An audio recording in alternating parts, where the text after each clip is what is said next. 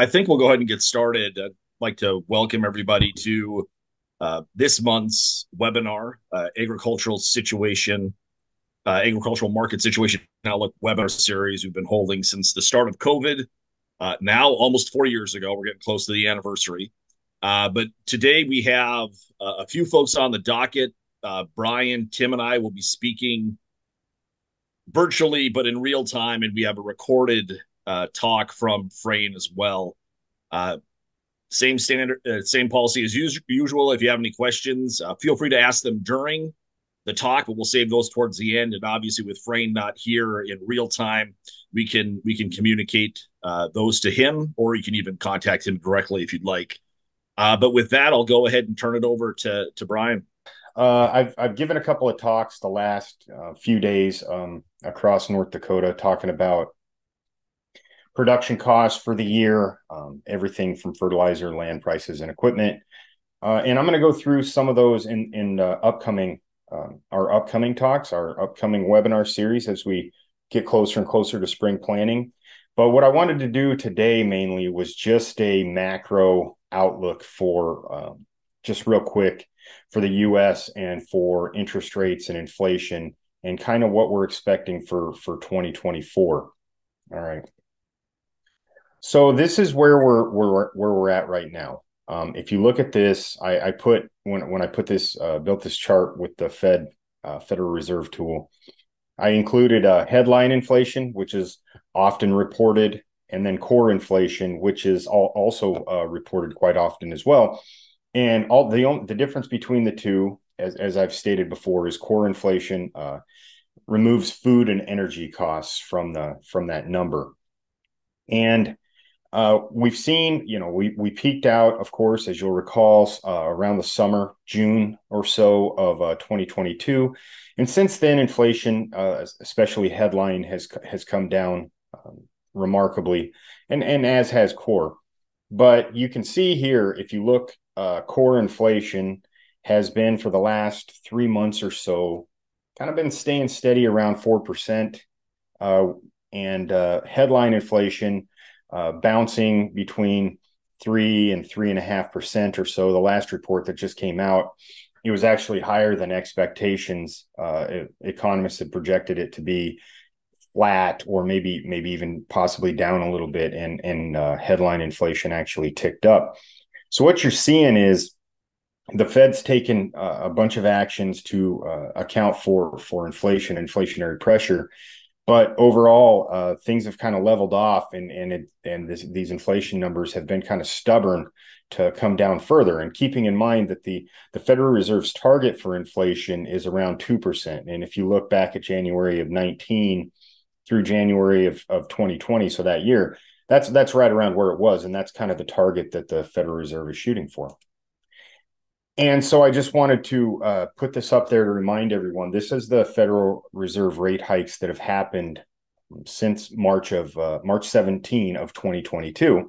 And it went from about a quarter uh, of a percentage point to where we are uh, with the last rate hike occurring um, July of 2026, going up to almost five and a half percent uh, as far as the federal funds rate.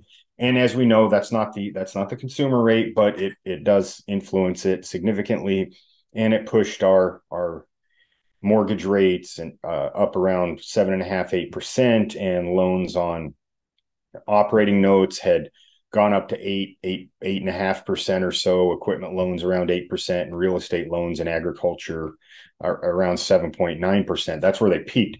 Now they've come off a little bit in the last uh, few months mainly because of optimism about the Federal Reserve possibly cutting rates in this year, 2024.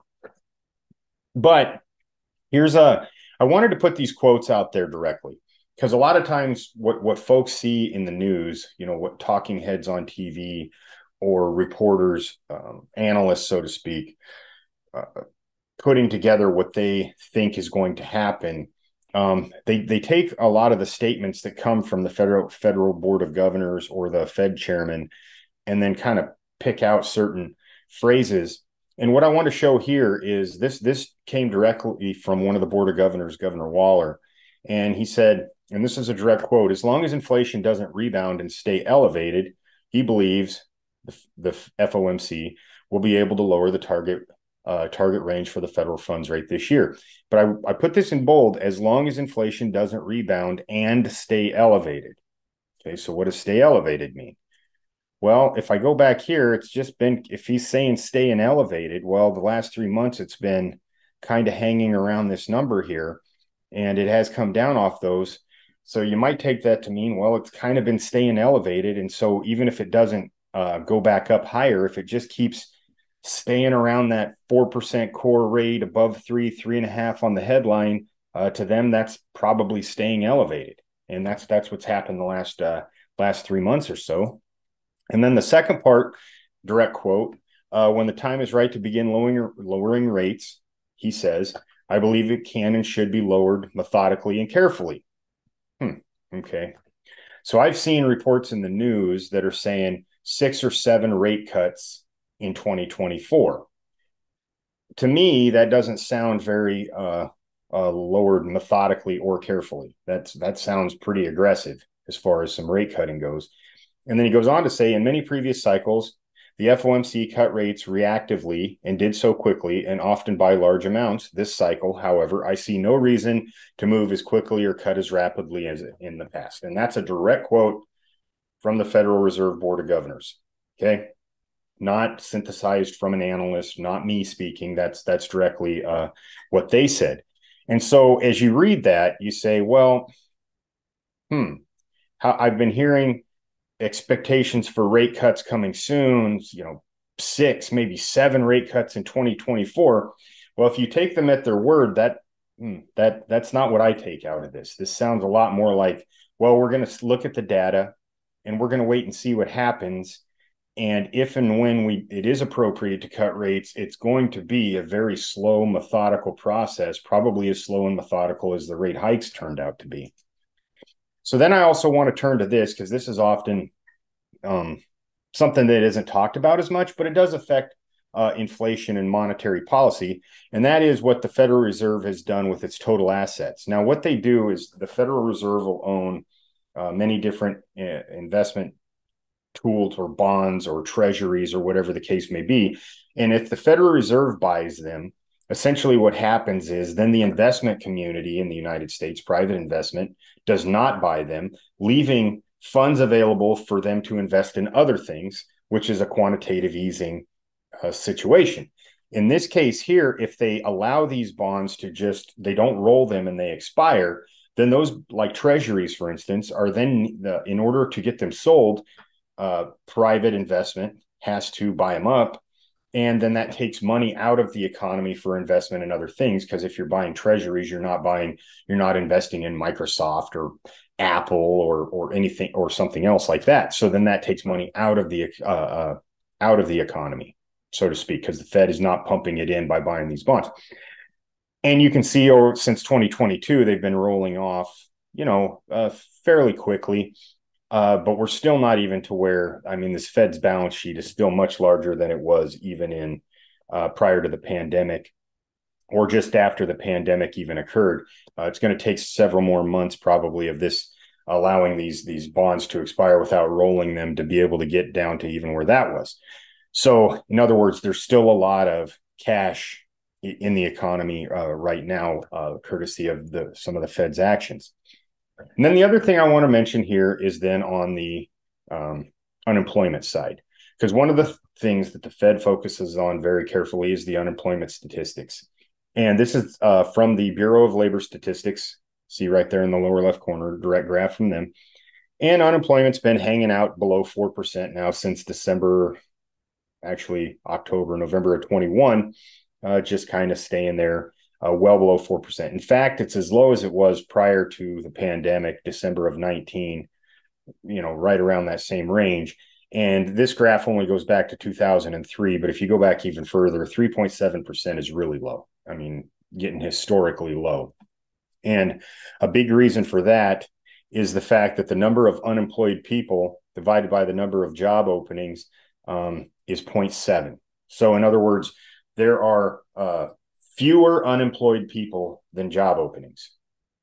And I put this graph in there uh, to show if you look at the red line, if the if this blue line touches the red line, then that means there's the same number of unemployed people as there are job openings. Okay.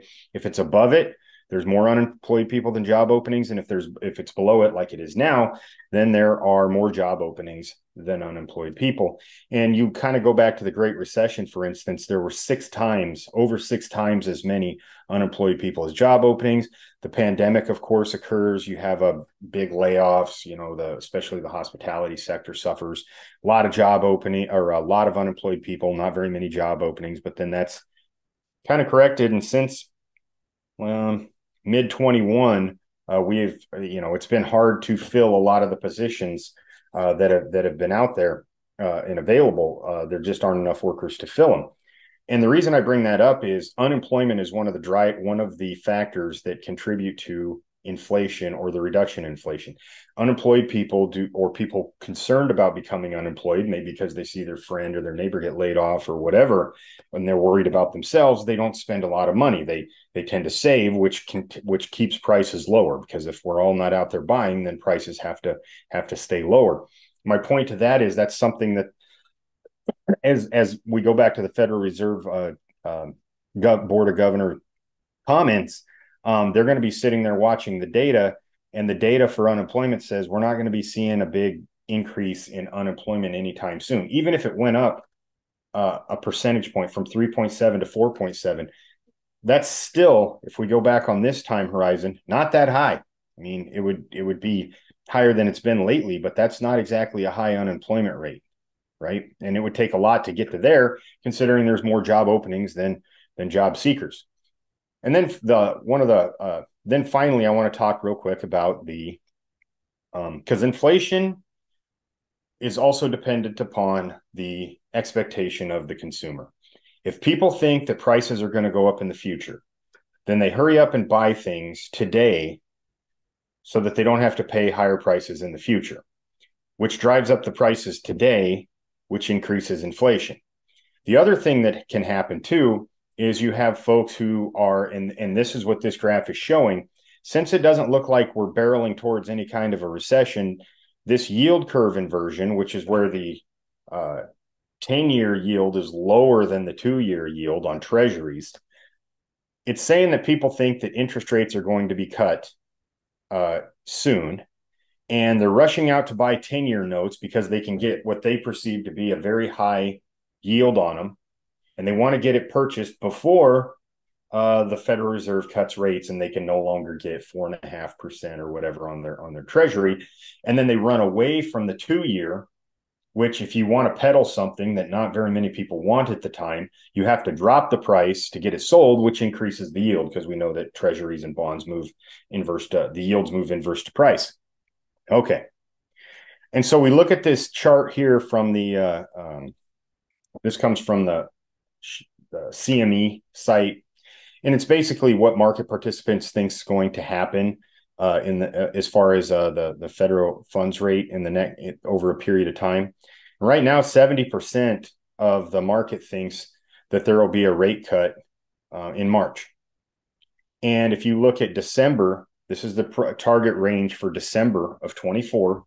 Okay, most think that it's going to by far and away think that it's going to be one and a half percent or or more less than it is right now.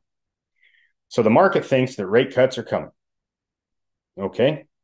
But I go back to looking at unemployment and then look at, oh, I didn't put it in there, but our GDP growth rates um, have actually been positive. The last one was higher than expected in the in the uh, at four percent, and the projection for um, the most recent quarter four is 2.2. So there really isn't a domestic uh, pending recession, you know, cloud looming that, that we can see.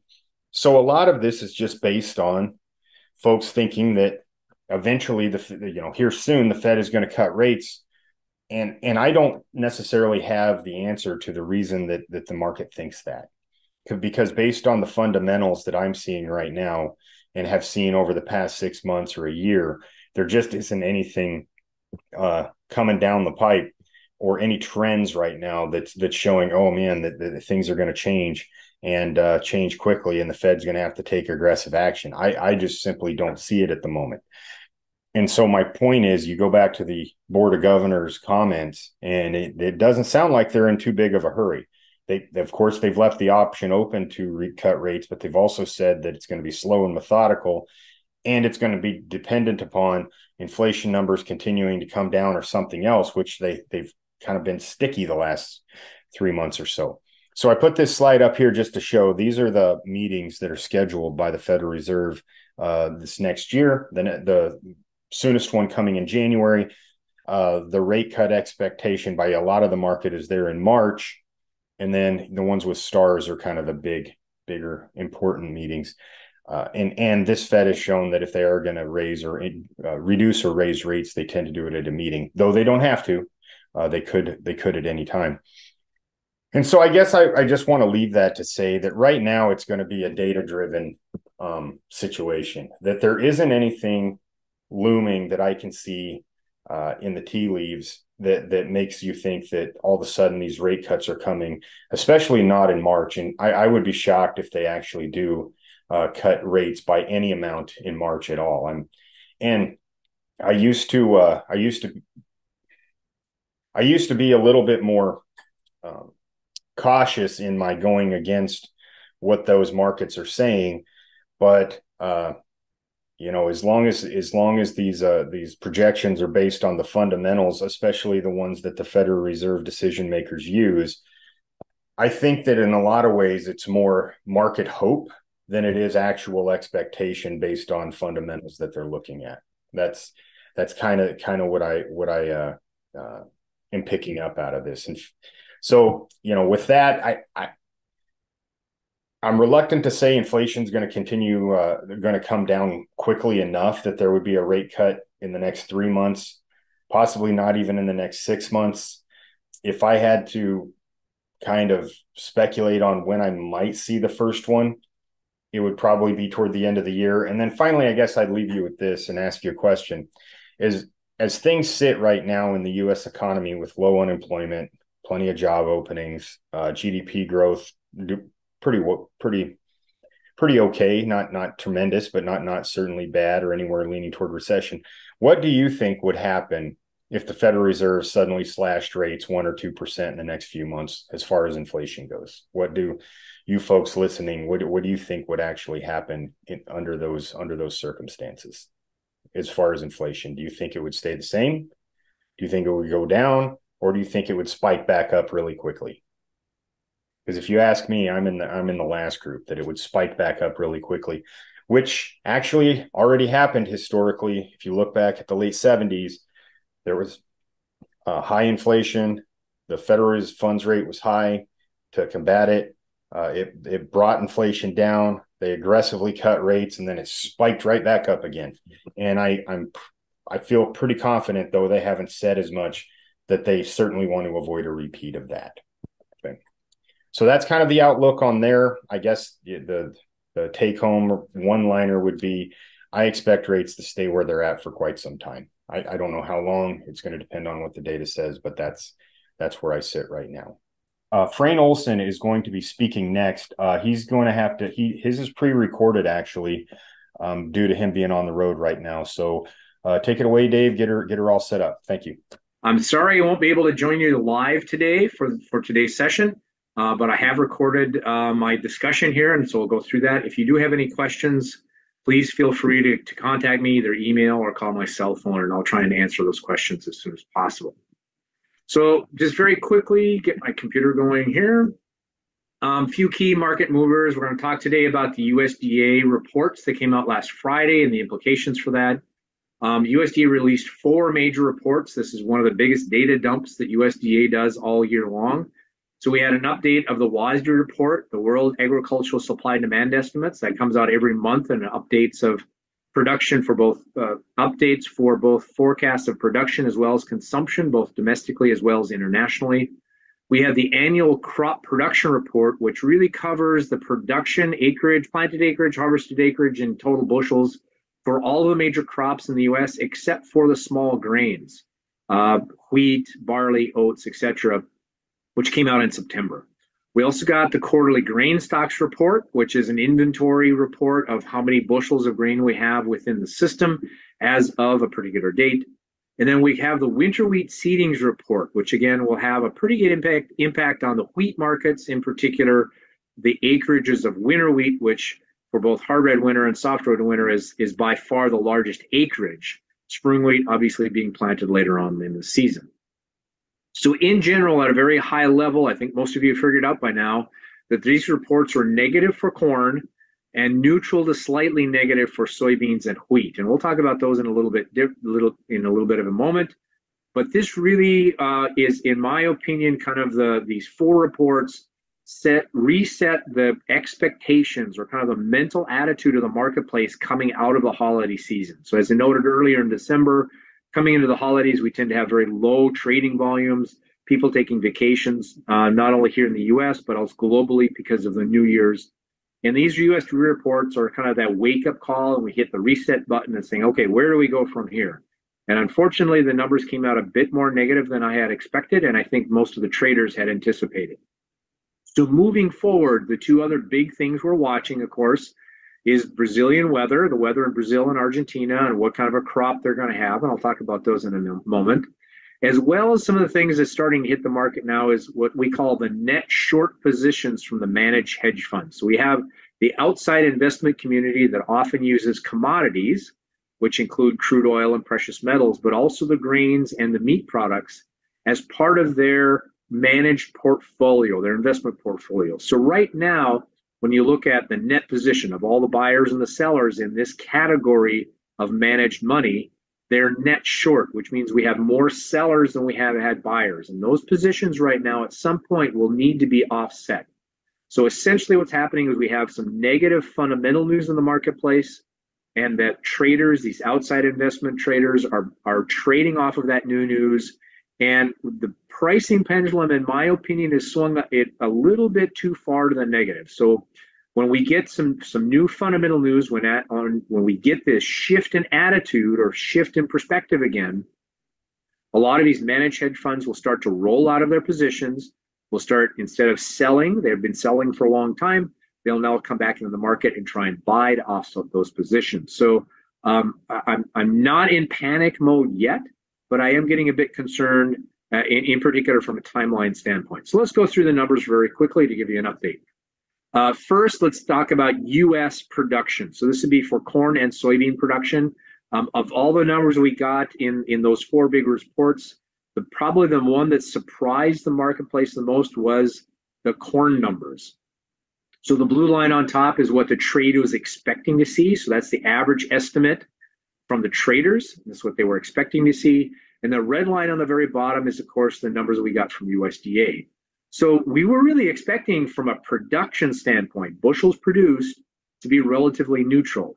We had two kind of surprises in that. So when we looked at the harvested area, the acreage that was actually harvested, that went down a little bit. So we had a shrinkage in the harvested acreage, but as a result, we also had an increase in the average yield. So I think what happened is some of those acres that were under drought stress either got chopped for silage or abandoned for crop insurance. So our harvested acreage went down. The area that we harvested was smaller. And as a result, we only harvested those acres that were of the best best quality or the highest yields, which then brought our average yield back up again.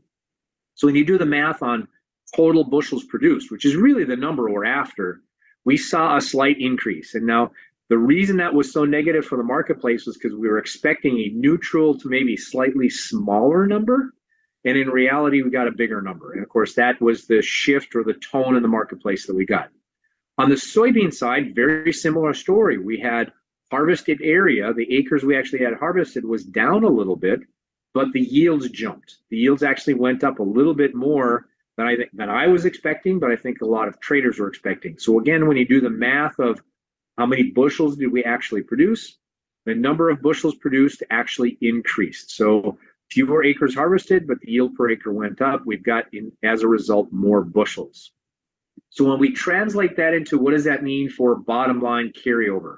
What does that mean for the inventories of grain as we come into harvest of next year? So again, the blue line on top is the numbers that we were expecting to see. That's what the traders and analysts were thought their best estimates were going to look like. And you drop down to the bottom in the red, those are the numbers we actually got. So small adjustments in wheat. Most of it was from actually old crops, some numbers, some some tweaking and adjustments from last year's numbers to make the change. So not a big shock value there, just some adjustments. On the corn side, we knew we know that more bushels came in. There was some adjustments in consumption. Um, USDA did increase their forecast for both uh, livestock feed as well as ethanol consumption as prices come down now a little bit. We've got more bushels available. And so there was a partial offset, but our ending stocks, the amount of grain we expect to have in the bin, that buffer that we have is is actually increased. And again, that's what put this negative tone, tone into the marketplace. The increase in production was greater than what we had an increase in the consumption side. Very similar story on soybeans. We had an increase in production, very uh, actually essentially no changes in the consumption side. So as a result, our bottom line, the amount of grain we're going to have, our buffer stocks, if you want to think about it that way, our ending inventories um, went up a little bit. So again, the combination of expecting smaller numbers and getting larger numbers put this negative tone into the marketplace. Shifting to South American production, again, as we move forward, uh, Brazil now in the northern part of Brazil is starting their harvest, their soybean harvest. It's going to take a while to get through their entire acreage, but at least they're starting that process. So we are starting to get some reports. Um, this is going to be the kind of the news of the day for a while, both U.S. export sales, but more importantly, how big is that Brazilian and Argentinian crop? Once again, blue line on top is what the trade was expecting to see. Again, they were expecting to see minor adjustments, and essentially that's what we got from the Brazilian side as well as the Argentine side. So small adjustments. We did take the size of the Brazilian crop down just a little bit basically stabilized with a slight increase in the Argentinian crop. So if you compare the blue line on top with the red line on bottom, small minor adjustments. Um, USDA, when, when, when there's a drought or weather problems, again, in particular in Brazil, which we'll talk about in a moment, they tend to take those numbers down relatively slowly. So a lot of the private forecasters are adjusting the forecast for Brazilian crop down much more rapidly than USDA will. I think USDA will get to some very similar numbers, but it's going to take them a little bit longer time to make those adjustments. They tend not to have big shock value or try not to have big shock value in their reporting. So the moral of the story is yes, it looks like the soybean crop in Brazil is shrinking. It looks like the potential corn crop in Brazil is getting a little bit smaller. Um, now, based on expectations, the Brazilian, the Argentinian crop for both corn and beans were very, very similar. However, please look at the numbers that we had last year. So last year was the third year of consecutive drought in Argentina. They're now getting some rains. Their crop now this year is going to rebound significantly in total production, actually coming back to more normal or typical levels. So it looks right now as though Argentina will have an average or a very typical size crop. Shifting to the final big, uh, no, it's not the final big report, but one of the biggest reports would be this winter wheat seedings report. And again, the big winter wheat seedings numbers came in a bit smaller than expected. So for total winter wheat, as well as when you break it down by subclass, hard red winter wheat, uh, basically the Kansas, Oklahoma, Texas crop, there was there was about a 1.6 million, almost 1.7 million um, uh, acreage decrease so we had a retracement or a cutback in hard red winter wheat seedings. We also saw a cutback in soft red winter wheat, which would be the Missouri, Illinois, Ohio winter wheats. Those were cut as well. Very stable numbers coming out of the, uh, the white wheat country, which is per- primarily in the Pacific Northwest. So if you look at the total acreage cutback, you know, it's about 2.2, almost 2.3 million acres of winter wheat that wasn't seeded this year relative to last year. So that's a pretty substantial cutback in, in plantings for hard red winter wheat. And, and we'll wait to see now as we move into the, the spring season what the spring wheat acreage is going to do. But at least this sets the t- stage for a little bit tighter supplies for the winter wheat crop coming into this 2024 production season. Shifting to South American production, I just want to give a really quick recap and then I'll hand it off um, to our next speaker. This is a map of where Brazil produces soybeans. The darker the green, the more soybean bushels or tons are produced. Notice that in the northern part of the growing regions, northern and central part, we have a lot of soybeans produced. That northern region now is just beginning their harvest season. We're just starting to get a few harvest reports coming out of Mato Grosso. Um, really a mixed bag so far, but it's a little bit too early to try and give the yield reports and make any kind of consensus or judgments on what the crop is going to be. Now, I do want to talk a little bit about soil moisture and, and, and crop conditions. So if we look at the drought over the last kind of the drought severity over the last 12 uh, last 4 weeks, last 1 month. Earlier on in the season during planting and early crop development, that northern region in particular in Mato Grosso and, and Goiás into this area right here were very dry. But over the last month or so, they've had some rain showers. Uh, crop conditions have been, have stabilized. There was some damage done earlier, but they've stabilized and soil moisture conditions have improved. However, when you look at the last month, again, this central region, which is still in the reproductive stages, is starting to see some damage now, or is going to start to see some stress. And that is a pretty large growing season, growing region, excuse me. And then you got the southern region, so we're really typically in pretty good shape. Well, if we look and zero in what's happened the last 10 days or so, now as, as that northern Mato Grosso region and into Goiás starts to be harvested, they're getting some higher rain showers. They're starting to recharge that soil moisture layer which is is nice. It'll help improve um, some of the harvest conditions as long as the heavy rains don't continue. There has been some improvement into this central region uh, where both soybeans and corn are being grown. Um, so, but there's still some stress. And so when we talk about weather conditions and crop stress, it's not really in the north for the soybeans in particular, but more now into the central region. And so when you take the damage that's already been done kind of in that northern region, you start including some of the potential yield reductions now in the central regions. We have to be a little bit careful about again the the total size and potential for the crop coming out of Argent uh, out of Brazil, excuse me.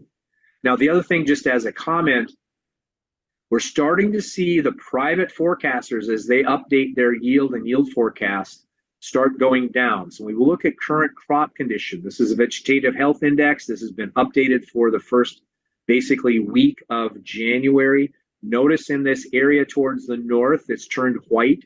Most of that is because the crop is now maturing. So we're looking at the greenness of the crop today relative to what we'd normally see that week of the year.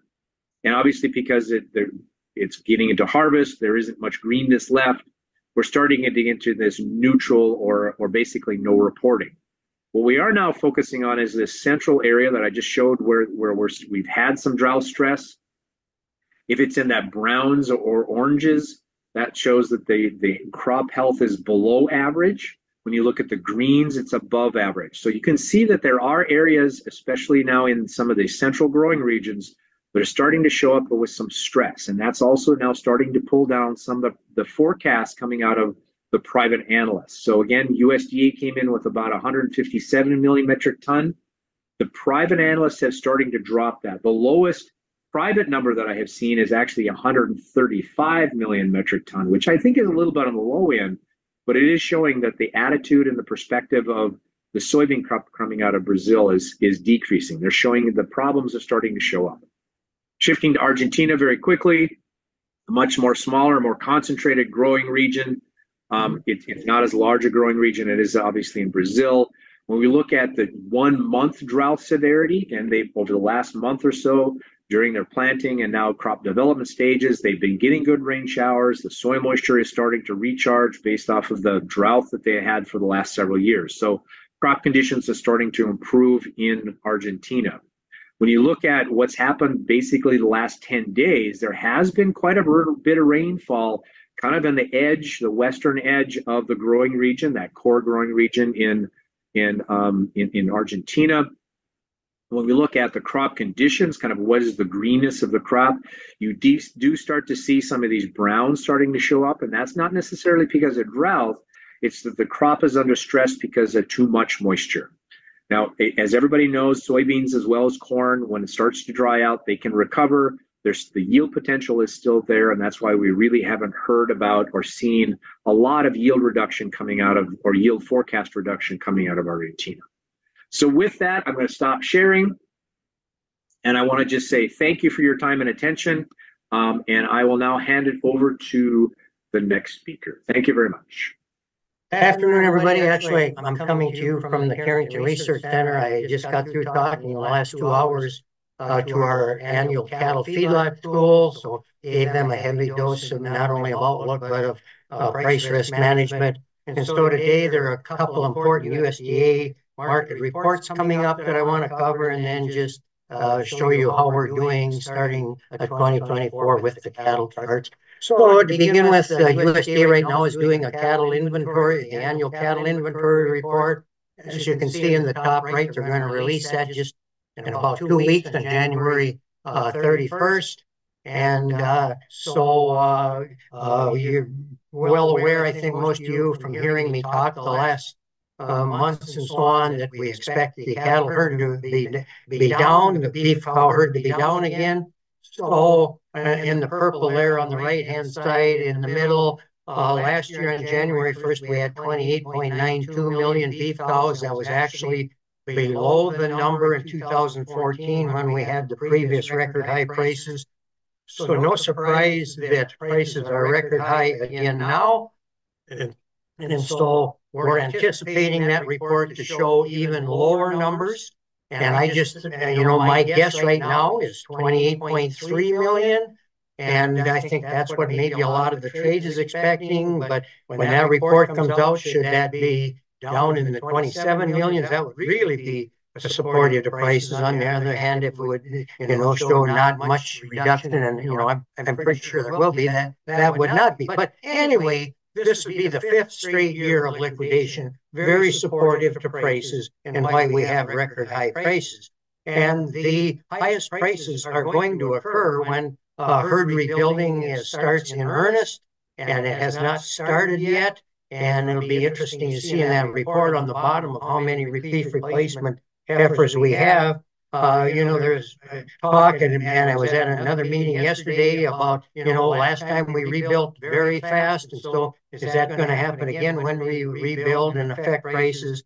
But kind of interesting, if you to the bottom chart, go back to 2014, January 1st, we had 4.5 million uh, replacement heifers. And last January 1st, just barely over four, so a lot less on hand now. Now that replacement heifer category is really two calf crops. On January 1st, when the report comes out, it'll be the heifers that were bred last summer, and there weren't many of them because, uh, and we'll look at the cattle and feed report in a minute, that they went into feedlots because it was so dry, but it's the, it's the heifers that were bred, and then it's also this, this year's calf crop, these uh, little 500, 600 pound uh, heifers and, and so on, that they say they're going to be replacement heifers, and uh, so that could show some more replacement heifers because there is interest, but those heifers do not have to win with the bull this summer, and it all depends on rain. So uh, look forward to that report. Uh, my next webinar, I will cover the report in earnest. Let's quickly go through the different market classes of cattle, starting off with fed steers. They, the fed steer price, in particular, those distant futures when the feeder cattle uh, now will be sold as, as market steers. And so the green is uh, 2021, and then the uh, the um, purple kind of is is uh, 2022. The blue towards the top is last year, and then the red line just starting on the left-hand side is where we are now. So you see the continuous cyclical increase. Actually, our last cyclical low uh, was is, is taken off this chart now. I was showing last year was 2020. So we've been up nicely every year. And then uh, this year, we really rebounded with the fewer numbers we have. Beef production was record high in 2022 because of all the cows that we killed, and we backed off cow slaughter uh, some now last year. And so uh, beef production was down about 5%. And so that really caused fed cattle prices to go up to uh, record high prices up there most of the year after April being up there over 180 we have did see prices fall off a little bit at the end of the year. And uh, uh, a couple of reasons for that. One is that uh, the, the feedlots kept the cattle longer and they got heavier, so we got uh, carcass weights quite a bit above, and then uh, and so that kind of affected the market. And then the competing meat prices are all down. Pork prices are low with chicken prices, and so uh, that has somewhat affected the fed cattle prices too. And then the futures are in the red squares up there. And uh, they're actually showing by mid-year lower prices than this year.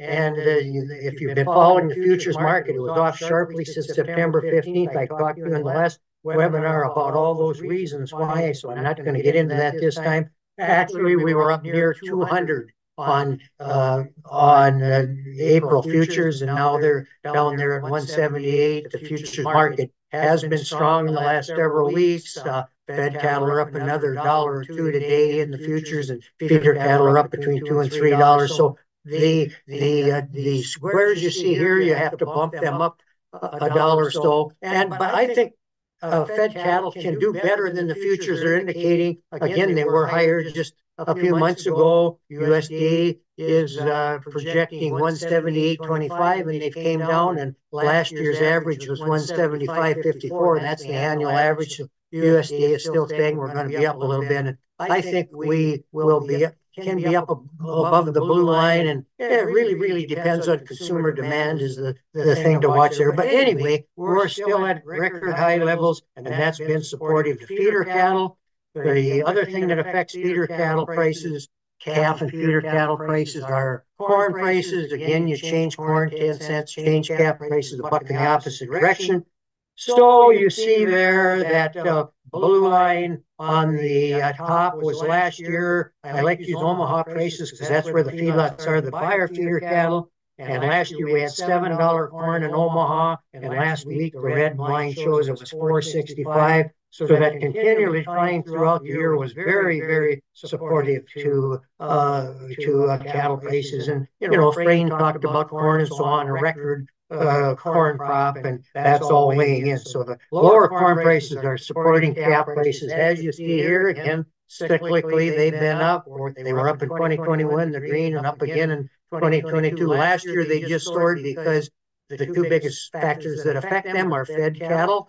The, you know, and they were record high, and corn, and corn fell, and so uh, we did $80 better uh, calves there throughout the midsummer. And uh, we're starting out the red line on the upper left-hand corner, just under 300 uh, dollars. Again, $80 higher than they were here at this last time. Again, we're going to have fewer calves to sell this year, and so that's supported. We don't know what corn prices are going to do, or, you know, with the record crop and lower corn prices, are farmers going to cut back on corn? So will that mean higher corn is all yet to be determined and would affect uh, calf prices and also what you know can feed fed cattle rebound a little bit more than what the futures say now. Uh, you know that would be supportive. So we have some factors there to watch, but still starting off at a much higher level, and I think there will be support throughout the year, if nothing else, based on the lower supply. The heavyweight backgrounded cattle, the very same uh, story there, cyclically higher every year, soaring this year with the lower corn and the higher uh, fed cattle. They usually do back off seasonally, as you see there since September 15th. I talked about that last time. So that's more of a seasonal uh, thing. That isn't uh, unusual, but then fed cattle did go down some, and that affected us a little bit. The red uh, squares there are the feeder cattle futures market, which are kind of above for the most of the year to a little bit uh, just uh, below there in August. But anyway, they were a lot higher too up there in the 280s just back in September 15th and has backed off for a variety of reasons. But we could even do uh, better than this, and we're already showing better prices than last year. We're starting out there in the upper uh, on the left-hand side there, the red line, uh, you know, it's, you know, significantly above uh, last year and, and certainly potential to stay at, you know, above last year, at least later on in the year. And, uh, and depending on what corn and so on does. So, you know, uh, cattle being sold now are bringing very, very good prices from, uh, you know, compared to the previous year. And then, of course, cows, if you're a cow calf producer, 20, to 20% of your income comes from cows. The same story there, cyclically higher and higher, but a very definite seasonal pattern when they go up into the mid-year and back off quite substantially when uh, the PG checking starts and the cows come to market. But again, there we're starting $20 uh, higher than we were last year. And, you know, if it rains and, and herd rebuilding starts and we slaughter a lot less cows, and that's yet to be determined, would be very supportive to cow prices as well. Oh, you know, the, on an annual basis, we expect cattle prices to be higher, but, but you know, from a price risk management standpoint, uh, you know, on a seasonal basis, if we're backgrounding or summer grazing or feeding cattle to slaughter wheat or whatever when they're coming out, I still think some kind of price risk management is warranted. If nothing else, looking at what happened to the futures market the last uh, several months should be, uh, you know, a guide for us to use there. And so in the middle there, you know, volatility is high. We've leveled off a little bit here, but you know, the futures are up two or three dollars a day. And just a couple of weeks ago, they were up five and down five. So a lot of volatility. So when we're on the upward part of the price cycle, like we are here, uh, the best marketing strategy is to lock in some kind of a floor price, but leave the top side open. So, you know, if we do get higher prices and everything comes together, go up a record high again, uh, that we can take advantage of that. But in case of some catastrophic events or, or something happens, maybe let's look at a floor price. So two ways to do that. That's LRP insurance and futures market options. That's what I just spent an hour talking about at our feedlot school. Oh, uh, tomorrow there's a cattle and feed report, which may or may not be eventful. On the upper right hand you see side, you see the last cattle and feed reports. They come out monthly. And as expected, that red line there was this year, and the blue line was last year, and the purple line average. And we were more on average. We were below last year because we have fewer cattle, and that was the expectation. And lo and, lo and behold, when the October report came out, we went above the average and above last year, and the same thing in November, and the same thing in December. And so the market kind of really reacted, the futures market, the cash market not as much, really reacted negatively to those numbers saying, oh, USDA is wrong. We got a lot more cattle than we thought we had. And, you know, there's no tomorrow and all that. And that wasn't the case at all. What that was is showing up and, and we don't record heifers on feed every month. That's a quarterly thing. And I think this one uh, tomorrow maybe is, is the quarter. So we'll see that. But we had re record heifers uh, uh, on feed here in the last few months simply because it was dry and the, some of those heifers that were called replacement heifers did not go in with the bull this summer and ended up in the feedlot.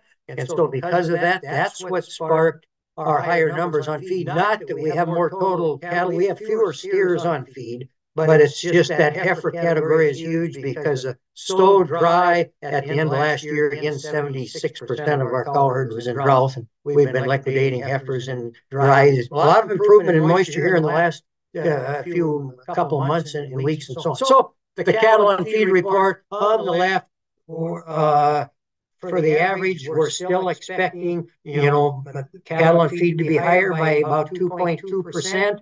But with, I think placements, we did place a lot of cattle early too because of, of lack of winter wheat that, that now is sparked and, and, and uh, some, some earlier marketing and so on. And so, uh, the, you know, the, the estimates down on the bottom shows you the, the people that make the estimates and we're, we're one of them at North Dakota State. But uh, anyway, the cattle and feed uh, estimates are a lot closer, but you see the next category on placements, quite a wide range in what how much placements may have been down.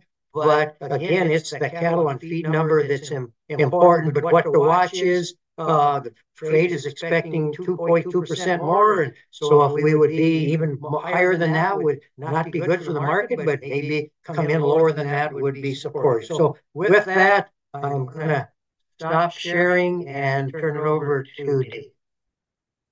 So I just have a few brief comments. Uh, actually, revisiting a few things that I've talked about in the last couple of months, but it's really kind of hitting ahead.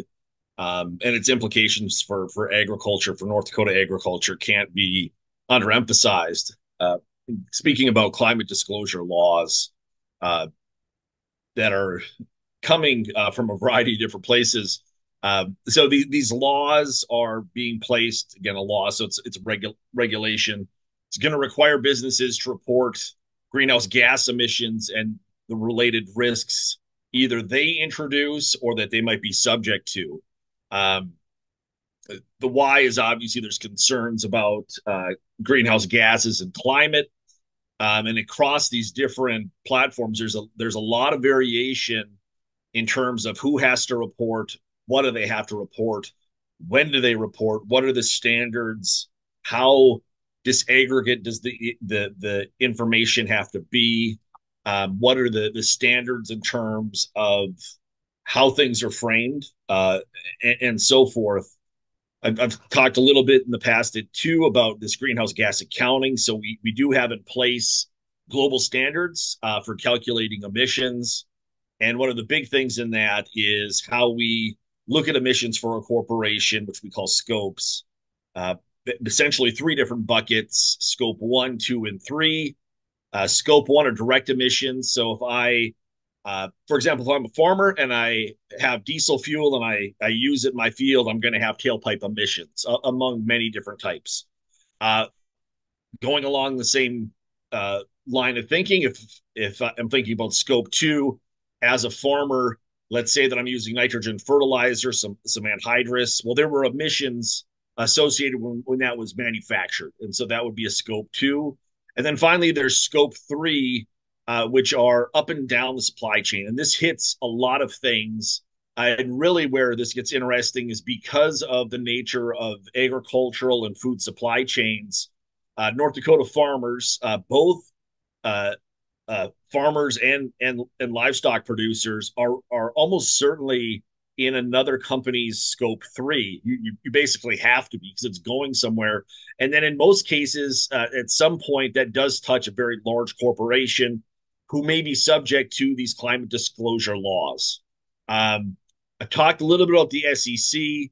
Uh, so, Securities Exchange Commission oversees uh, some markets, United States. Uh, the, the the in, in terms of the New York Stock Exchange, other things like that, overlooking uh, the behavior of publicly traded companies. And so that's where they focused. They had a proposed rule a year and a half ago. Uh, and so that would be basically a description of what the policy would look like. They opened it up for comments. They got a ton of comments back uh, and a lot of pushback saying, you know, in, in, a variety of ways that this was not uh, what was wanted or what could be achieved uh, in short order. And the SEC actually did in, in October kind of say, you know what, you know, we're gonna we're not going to move as fast or in the same ways that we said we were going to. And that was a bit of a sigh of relief to uh, to industry, to these companies and others, because it, it, it simply is a very big lift. At the same time, I've talked about uh, the climate disclosure laws in California um, those are law now, uh, so they have that that full weight and effect of, of the state of California. And again, they can only really regulate what happens in their state. And so, if there's transactions, people doing businesses in their state, they can regulate that. And they've essentially decided for now that any business that has more than a million dollars in sales that does business, any business in California, has to report their, their greenhouse gas emissions. Um, and so this is about 700 companies. But again, as I've, I've, mentioned before, you know, even though a North Dakota farmer may have no business uh, directly in the state of California, if they're producing durum that turns into pasta, and then maybe you could say it's Creamette or Barilla or whomever it is, suddenly you're in their scope three and you're subject to these climate uh, these climate disclosure laws. And that doesn't mean that they're going to come to your farm and look specifically at what you're doing uh, but they are going to consider what the emissions are for the production of that product, and so that could be a okay thing. Um, may not impact you directly, or it might be a very big thing if those numbers are wrong, or as the case really is, if those numbers don't exist, you may have a lot of difficulty marketing your crops. Um, other reason I bring this up, and, and it, it's news to some extent, um, I've, I've long kind of given the comment when thinking about biofuel policy or uh, sustainability policy generally. Uh, you know, Europe was about 10 to 15 years ahead of, of the US. California was five to 10 years ahead. And then the US as a whole would come along. That's really kind of close to where we're at because the European Commission has been working on this for more than a decade. And they're, they're sustainability reporting in general came into effect last January, so a year ago, but their reporting standards uh, are actually in force as of January 1st. And so these are very, very uh, uh, robust standards, demanding standards. It's, you know, it's a quick 1,200 page read of the standards uh, and then actually going through with it. But right now, uh, as of July 1, we know that any US company that's also listed on a European stock exchange within a, an EU country uh, is going to have to start reporting.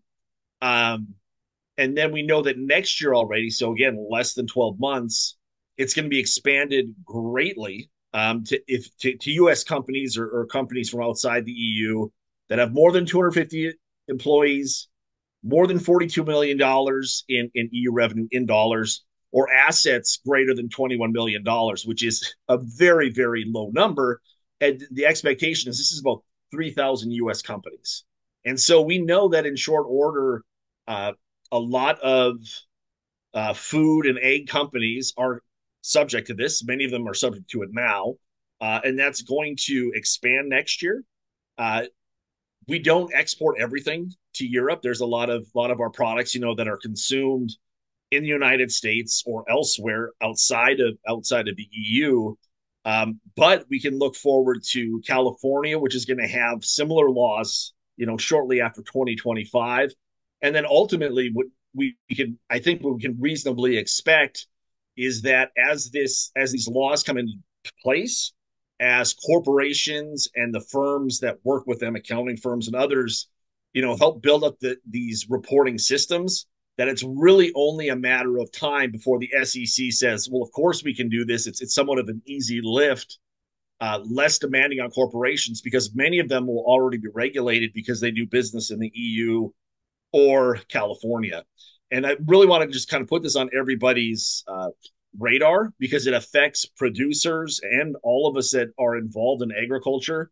Uh, a wrong number would be a problem. The absence of a number may mean that you don't have market access. That might be a, a very big concern for Europe.